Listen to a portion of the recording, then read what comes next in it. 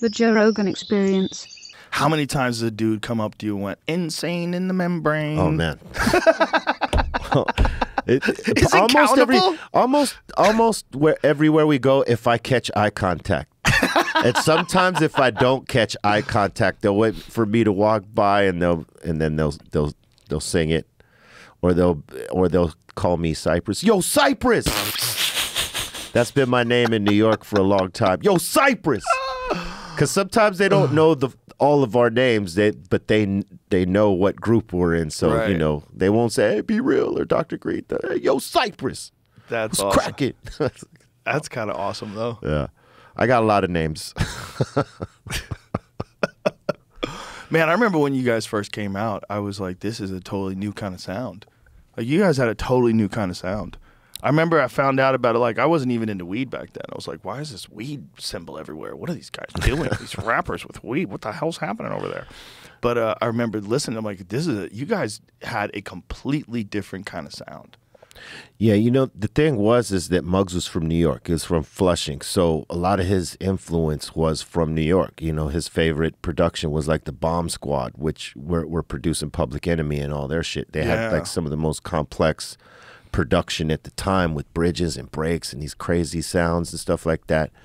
So you know that's what Muggs got down with. Now when he moved out here and we we we start hanging out, he's introducing us to New York music, you know, hip hop music that we we heard. We heard some of it via the radio on KDAY, an AM station that was playing a lot of uh, hip hop in the mix, and some of it uh, mixed with R and B and soul throughout the day. So this is where we got our first introduction to hip hop. But Muggs being from New York, whenever he'd go back, he'd come back with new records and he'd introduce us to stuff like that. And so when it came time to to to working on an album, he had all that influence and you know being from New York and absorbing all that culture it sounded sort of like New York style production mixed with a little bit of LA influence especially with you know what Sen and I were kicking in terms of vocals cuz we were using a combination of LA and New York slang you know merged as one so that's why a lot of people were confused like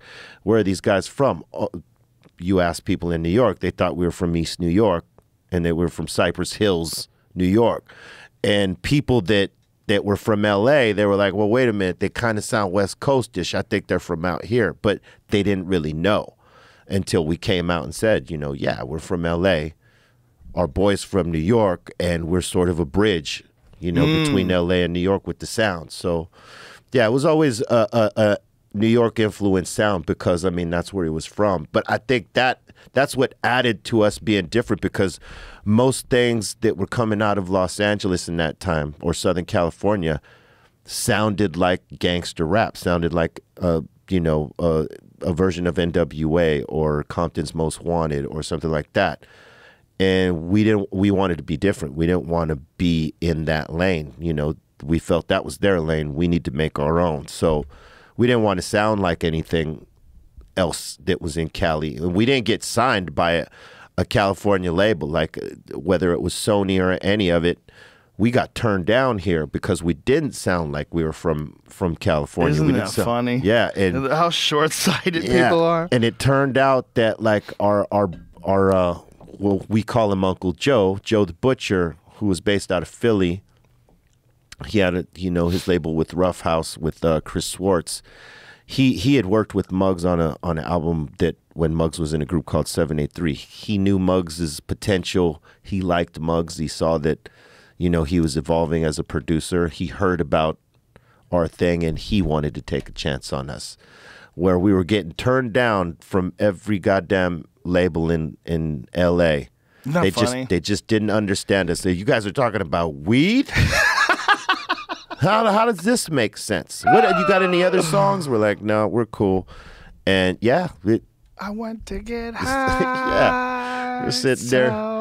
they're eating lunch, listening to a song about getting high. They're like, "What the fuck is this?" Um, or no, we didn't even have that song yet. It was we were talking about. Uh, it was uh, the Get High song on there was um, Light Another and something else, but Light Another was a main one. And we're talking about it. That's one of the demos that played, and you know, th- that you could see the execs just scratching their head, like, what do we do with this? Mm. I mean, it, like, Isn't it funny that the, the- everybody wants everything to be cookie cutter? Yeah. Like the idea that rap didn't even exist a few decades prior, right? It wasn't even a common thing. And now all of a sudden it's huge and they can't see that maybe there's another branch of this that could. I mean, it's funny that they wouldn't be, they wouldn't recognize how good it is. That's what's weird. What it is is is they don't want to take a chance on trying to develop it because if it fails, it's on their back. Yeah. You know what I mean? So they want something that's easy that oh like, oh, it's this sounds like this. We can market it in this lane. This is already a successful template. Let's use this. Oh, they're not using that shit. We can't do nothing with it. So, you know, like it's the development. And fortunately, you know, when we got signed to Ruffhouse Columbia, we had the power of of of Columbia backing us up because they sort of believed in what what we were doing. Well, they not sort of believed; they believed in what we were doing, and got behind it and allowed us to be as creative as we wanted to be, and and and pushed us. And and uh, you know, along with having Joe and Chris on our side creatively, like pushing our line and saying, "Hey, what these guys are doing, great. We're, we don't want to intervene and you know change anything they're doing. Just let them fucking go." I mean, that was everything because, you know, most of the time they want an easy layup. So mm. if, let's just say, you know, there's a group over here that's doing well, hey, how come, why don't we make a record like this Right, over here? right. It's like, well, why don't you go sign that shit over there? This, is not who we are. So, you know, they want you to make it easy, but realistically, it's no, nothing good is ever easy. You got to work toward it and develop it. Unfortunately, you know, we got on the team that that believed in that, and man, it was the biggest fuck you to all those that turned us down and didn't get what we were doing. Uh, they got it now. Y'all got it now, right? you got it now.